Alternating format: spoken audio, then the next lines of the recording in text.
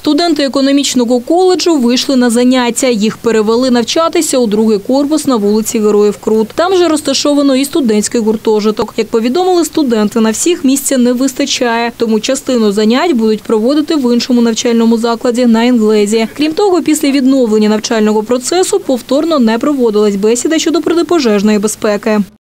С этим корпусом как бы все нормально, мы тут знаем, куда выходить и тому подобное. А после пожара с нами на эту тему не разговаривали. Ну вот, нам ну, не проводился никакой инструктаж вот именно после пожара. А насчет проверки, да, насчет проверки, лично я не знаю, говорить не буду. Ну, говорят, что была. Естественно, не помещаются. Троицкая достаточно большой корпус был. И сейчас студентам негде учиться, и поэтому нам выделили там. Да, нам тоже говорили, что хотят сделать э, перв... ну, две смены, чтобы мы ходили учились. Но, как я понял, э, после выделения нам аудитории на 25-й Чапаевской, мне кажется, мы будем учиться, ну, как и обычно. На Троицкой, как я знаю, что я видела, что там были они закрыты, а здесь я даже не знаю, где он находится, если честно, пожарный выход. Ну, мы всегда вот через центральный выходим, когда у нас пожарная э, тревога учебная.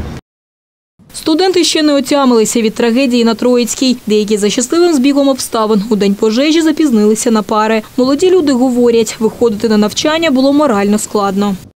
Я опоздал э, на Троицкую на 5 минут. Э, можно так сказать, по чистой случайности. М, Можно считать по воле Божьей. А, как мама говорит, ангел ну, спас меня. Более такое шокированное настроение и более такое шоковое состояние было как раз-таки после этой трагедии в среду. А, четверг, пятница просто сидели по домам, думали, надеялись даже насчет э, людей, которых там ну, доставали.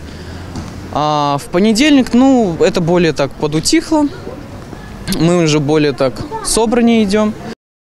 Як говорять студенти, в перший день занять провели навчальну евакуацію. В аудиторіях з'явилися вогнегасники разом із інформаційними табличками. Але особисто студенти не чули про повторний інструктаж. Огнетушители появились. Вот мы сегодня сидели в аудитории, заметили, розетки поменяли. После этого. Советские. Старые розетки. Сейчас новые стоят. появились некоторые, ну, как не плакаты, а вот такие вот информационные таблички. да. И там пишется, как вести себя во время пожара. Но они у нас и раньше были. Так-то появились просто новые, более раскрывающие эту тему.